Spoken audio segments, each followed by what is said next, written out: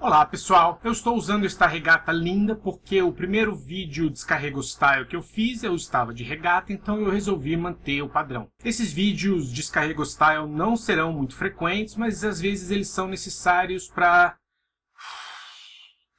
Então vamos lá.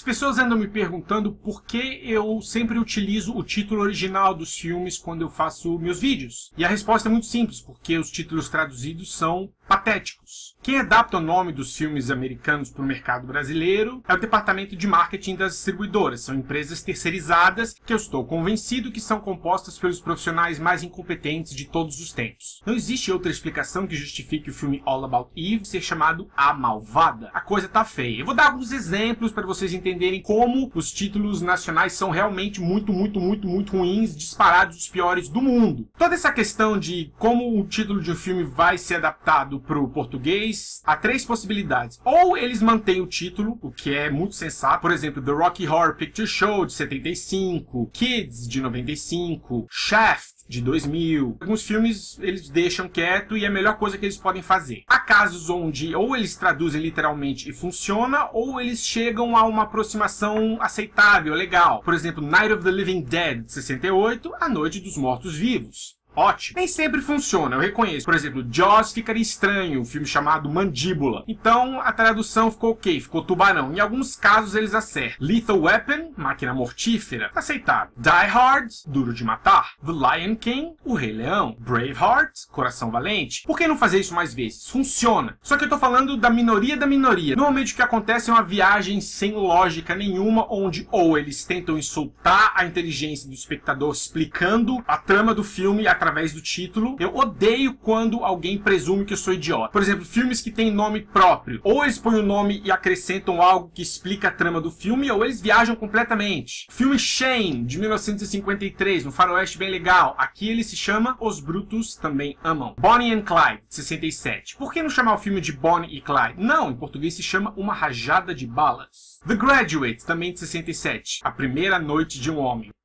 Você não precisa colocar isso no título do filme.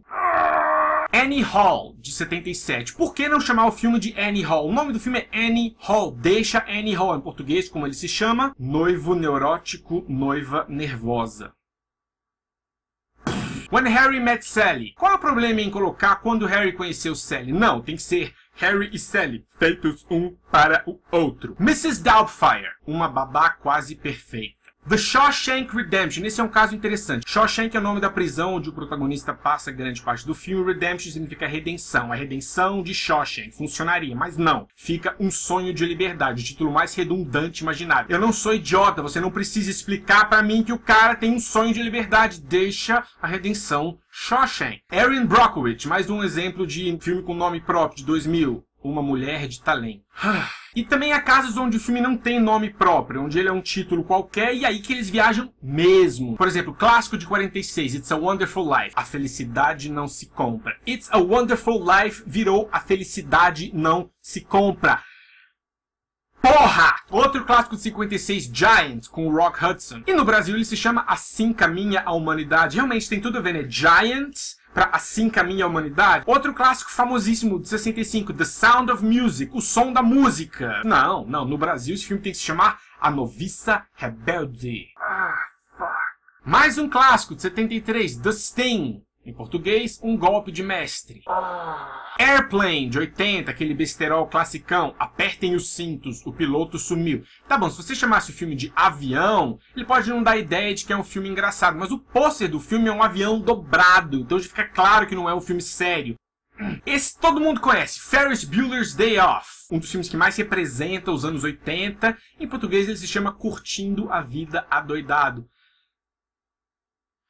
Percebendo como tá ficando redundante. E olha que eu tô usando pouquíssimos exemplos. São provas de até onde pode chegar o nível da idiotice humana. City Slickers, um filme que eu gosto, de 91. Ele deu até um Oscar de melhor ator coadjuvante pro Jack Palance. Amigos, sempre amigos. Haha, por quê? Esse é um dos piores de todos. É um filmaço chamado Memento, de 2000. No filme fica bem claro que o cara sofre de um problema de memória que não é amnésia. E o filme em português se chama Amnésia. O filme deixa claro que ele não tem amnésia. O personagem não tem amnésia. E aí tem aqueles casos de filmes que tem mais de um. The Hangover. Hangover significa ressaca. Os caras acordam sem lembrar do que aconteceu na noite anterior. Em português, se beber, não case. Porra! Inclusive o terceiro filme, The Hangover Part 3, não tem casamento. E mesmo assim ele se chama Se Beber Não Case Parte 3. Vocês estão entendendo? Vocês estão entendendo? Ah, Mystic River. O nome do filme é Mystic River. Em português virou Sobre Meninos e Lobos.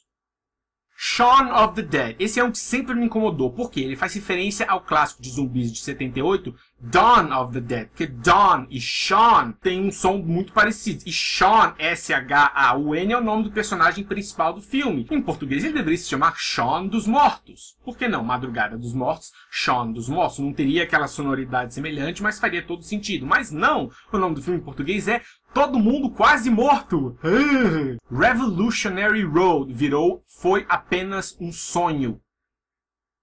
Esse é outro que me incomoda para caramba. O nome do filme é Zack and Miri Make a Porno, de 2008. Zack e Miri fazem um pornô. Pronto, tá traduzido, tá feito o título. Não, em português ele se chama Pagando Bem, que mal tem? Ou em que planeta, em que universo paralelo, em que cosmos imaginário pagando bem que mal tem é um bom título para um filme que se chama Zack and Miri Make a Porno. Alguém me explica, por favor, alguém me explica. Deixa um comentário aí embaixo e me explica. Quero entender. A minha mente quer entender. Para fechar, um mais recente, Beasts of the Southern Wild concorreu ao último Oscar, virou Indomável Sonhadora. Beasts of the Southern Wild Indomável Sonhador. Então é por isso que quando eu comento filmes eu deixo o título original. Os títulos traduzidos me incomodam profundamente. Eu entendo que muita gente não sabe qual é o título original, ninguém tem obrigação de falar inglês. Quando você procura os filmes que estão em cartaz no jornal, na internet, normalmente os títulos estão traduzidos. Então, para facilitar a vida das pessoas, eu vou colocar entre parênteses o título nacional. Pelo menos agora vocês entendem porque eu faço questão de deixar o título original. É uma questão de qualidade. Não tem nada a ver com falar ou não falar um idioma. Eu, por exemplo, nunca chamaria chamaria tropa de elite de Elite Troop. Para as empresas terceirizadas responsáveis por essas atrocidades, eu deixo um recado. Ah, eu falei que esses vídeos de descarrego são legais, eles são importantes, eles me deixam leve, estou me sentindo ótimo. É isso, pessoal. Um abraço e até a próxima.